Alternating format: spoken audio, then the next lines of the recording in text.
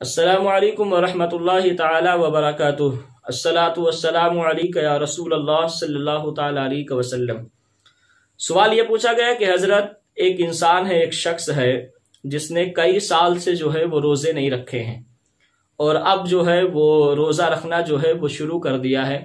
तो उसके जितने पिछले रोज़े जो है वो छूट गए हैं तो फिर क्या वो रोज़े का कफारा क्या होगा? वो उस रोज़े को जो है वो कैसे पूरा करे? क्या उस रोज़े का कोई कफारा है? आप इसकी वजाहत जो है वो फरमा दें।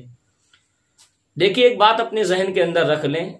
मैंने पहले भी बताया था और अब भी बता रहा हूँ कि रोजा तोड़ने का कफारा है, रोजा छोड़ने का कफारा नहीं है। अगर वो इंसान शुरू से लेकर के अब तक उसने रोजा नहीं रखा है तो उसने गुनाह कबीरा किया है, उसने एक फ़र्ज़ को तर्क किया है, वो इंसान अल्लाह की बारगाह में तोबा करे, अल्लाह के बारगाह में माफ़ी करे, अल्लाह तबारक वाली माफ़ कर दे तो इसकी शान है, ना माफ़ करे तो उसका इंसाफ है।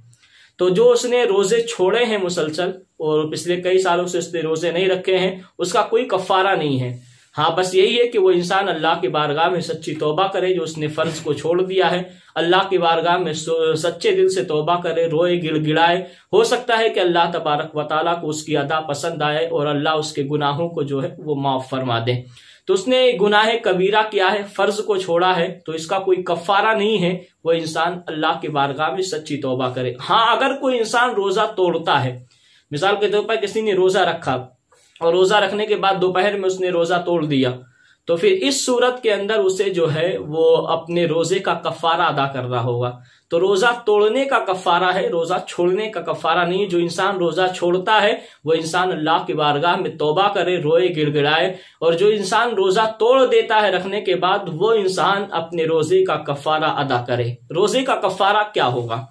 तो एक रोज़े का कफारा ये है कि अगर किसी इंसान ने एक रोजा तोड़ा है तो उसका कफारा यह है कि वो इंसान या तो साठ मुसलसल रोज़े रखे, लगातार रोज़े रखे। बीच में कोई गैप नहीं होना चाहिए। बगैर गैप किए हुए वो इंसान साठ मुसलसल रोज़े रखें।